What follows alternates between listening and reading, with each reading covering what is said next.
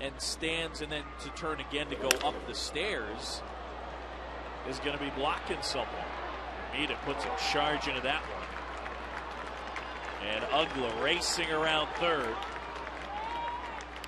And Jeremy Hermida, it's an RBI triple.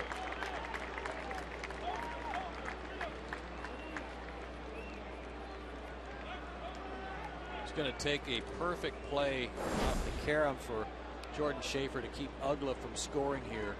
As Hermida puts a really nice swing on this, catches it out in front. First hard hit ball off of Kawakami in about three innings. But Jordan trying to catch that ball before it got to the fence.